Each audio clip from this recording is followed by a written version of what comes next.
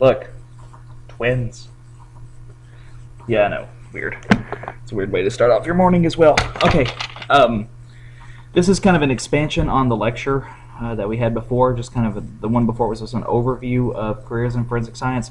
This one goes into some of the ones that we're going to be looking at throughout the year in a little bit more detail. And so, I'll just tell you, I made this PowerPoint um, after school one evening, and it took me a long time. And the pictures that I chose for it just got progressively weirder and weirder as we went along. So, I apologize in advance. Okay, uh, so the first thing to look at is crime scene investigator. This is what we typically think of when we think of forensic science. We think of a an actual CSI, although the TV show is a horrible representation of what a crime scene investigator actually does. Um, there actually are a there's a wide variety of jobs that you do as a CSI, lots of specializations, uh, even including some of the ones that we're going to look at today are actually specializations of a CSI. Um, the main thing that they do is they secure and they analyze crime scenes. Um, they're the ones that collect and process evidence. Um, now, if you're wanting to be a CSI, make sure that you don't mind being woken up in the middle of the night because there's not exactly a day clock, you know, where criminals like clock in eight to five or something, uh, and so you might be woken up in the middle of the night, um, and a crime scene can happen anywhere. So expect to have really um, inconsistent working conditions. Next one to look at is a forensic photographer. Okay, um, now this one probably makes is pretty self-explanatory. Uh, the main thing a forensic photographer does is they document the crime scene, but there is another aspect of it because um, some forensic evidence cannot be seen except unless it's under special light, like infrared or, or, ultraviolet light. And so a photographer needs to have a working knowledge of using that type of light.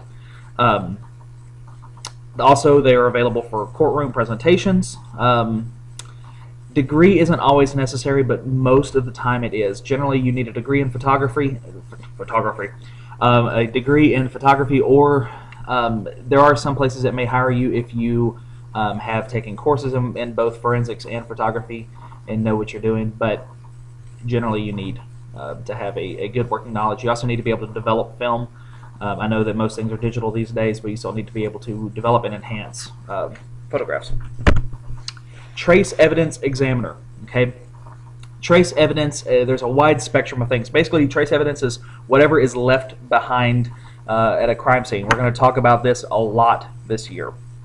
This goes uh, for things such as hair, fibers, paint, um, soil, dirt, glass, um, even impressions like a like a foot impression, a footprint.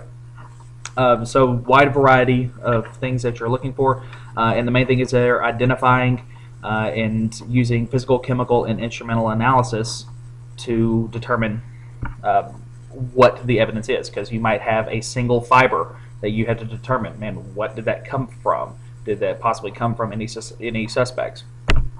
Okay, latent print examiner. Sure, everybody look at the weird pictures for the prints there. Everybody see the puppy? All right, nice. Okay, processes and examines latent fingerprints. Latent fingerprints are what we normally think of when we think of a fingerprint, where there's just something that's left on the surface. There's also patent prints, but we'll talk about that another time. That's more impressions that falls under trace evidence. Um, the main thing that the latent print examiner does, if they're actually a CSI latent print examiner, is they are they lift them from the crime scene using different chemicals, um, ninhydrin, uh, luminol, things like that, um, using different powder and chemicals, um, run them through analysis, and then ultimately those things are searched through a database, um, both civil and criminal, to determine who did the wonderful crime forensic serologist uh, and biologist. This is getting into like kind of the little gory stuff there. Um, basically, they're both very similar. Um, serology deals more with uh, blood and body fluids. Um, biology, uh, actually, all these kind of overlap because as a serologist, you can also do DNA analysis. As a biologist, you do blood and body fluid and DNA analysis. Um, a lot of times, they're called in to um, to testify in court um, about particular DNA evidence. Okay, so you have to have some legitimacy in what you do, uh, but they process, compare, and identify biological evidence.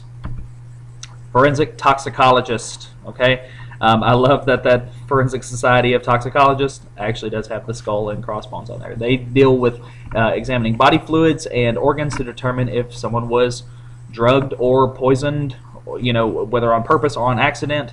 Uh, and a lot of times tox- toxicologists are called into a case, you know, to to submit um, evidence. A questioned document examiner. Okay, um, this is a person who's called in for all those forged notes that you uh, sent in of your parents. I'm going to have all of the uh, safety contracts checked by a questioned document examiner. Um, this can be everything from just forged documents. You talk about wills. You talk about checks. However, even a, a forged a question document examiner might be brought in if there is, say, there's a murder that takes place, um, and someone finds literal writing on a wall or something, or, or maybe a, a drawing or, or something along those lines. A question document examiner would come in to try to figure out who it was who did that actual drawing or did that actual writing. Uh, and so they kind of have a wide spectrum of things that they do. Firearm examiner. Okay, yeah, check out the creepy. I love that turtle picture. Okay, so hopefully y'all y'all like the turtle picture. I, I should have even called any attention to it just to see if you notice it. Firearm examiner. Uh, another thing that we're going to look at this year. Um, basically, a, a, ma a, major portion of a firearm examiner is trying to match up um, ammunition to the firearm that discharged it. Uh, there's every type of every type of gun puts off a specific marking, uh, very fingerprint-like on the um, bullet that it discharges. And so you can kind of match a gun and its bullet oh, depending on if it's fired or not. And so they also do things like trajectory. Um, this is in uh, tool mark examination, hence the hatchet to the head. Uh, and generally, this field a lot of times is called ballistics, especially when we're dealing with with firearms itself.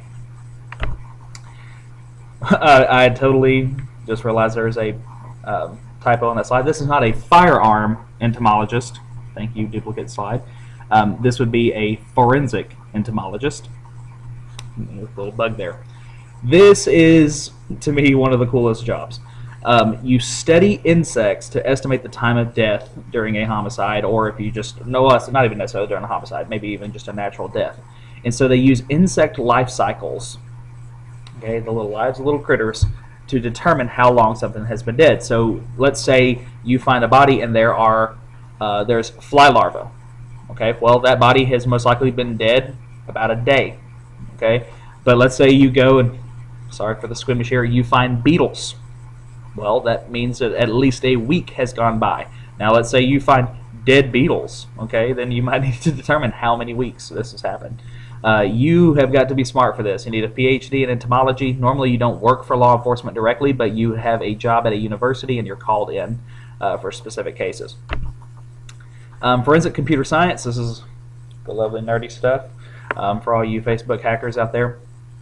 Um, I'm not going to go into a whole lot of detail of this right now because there's a wide spectrum of it, but this is like things like identity theft. This would be um, even uh, searching. Say you uh, you have arrested a killer and, and you're trying to determine if there's other you know if there's other uh, murders that have taken place. You might search someone's computer look for missing files. This is document recovery so deleted files you know getting those back um, and things along those along that line. Forensic engineering that is one creepy clown picture um, this is a lot of forensic engineering is after the fact. So trying to determine how an accident happened. Um, car crashes, explosions, fires, um, or even just a freak accident, a forensic engineer goes through, and probably the closest thing to the legitimate scientific method, they go through and test out uh, to see how something may have taken place. Um, so forensic, forensic engineering is probably one of the more specific sciences involved because there's actually some uh, there's actually some experiments that would take place in this. You, however, would need a degree in engineering and also a particular certification. Forensic odontology. All right, it's. Sorry, I just that picture creeps me out. Um, this is talking about teeth. Okay, um, identifies and compares dental evidence. This can be actual teeth that you find. It can be find uh, your uh, you know dental work. Talking about identifying bodies, um, and even bite marks. Um, there basically your particular teeth pattern um, and I mean your dental work uh, to some is, they say is actually um, more original to you than your DNA. Okay, that no one has a teeth pattern exactly like yours, even if you have identical twins. There's because of the way they've chewed their food, or you know, or dentist work that they've had. um, there is a difference in their, you know, in the way that their teeth are aligned. Uh, and so you would need a doctor of dentistry degree, among other things, to be able to do this, and then you could help fix uh, Brittany there. Forensic pathology. Okay, pathology is actually the study of disease, and so this is the study of disease that kills. Okay, so um, this is a branch of medicine used for legal purposes and for determining causes of death. Okay, so uh, this a lot of time works in con- uh, in conjunction with the medical examiner. Uh, they do autopsies, and they basically try to determine why someone died. Um, and so you would obviously you need to be a doctor. It's not something where it's like, yeah, I put in my application in McDonald's and I put in to be a forensic pathologist. Um, any picture that I tried to find was just too creepy, so I just said, forget it.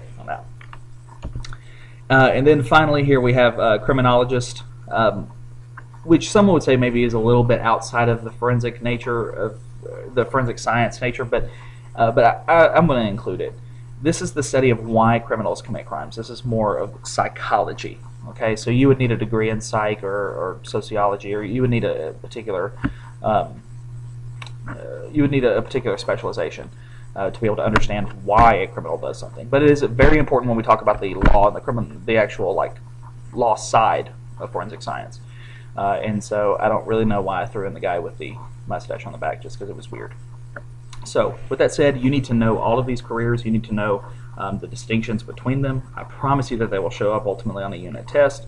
Um, and so, with that said, have a lovely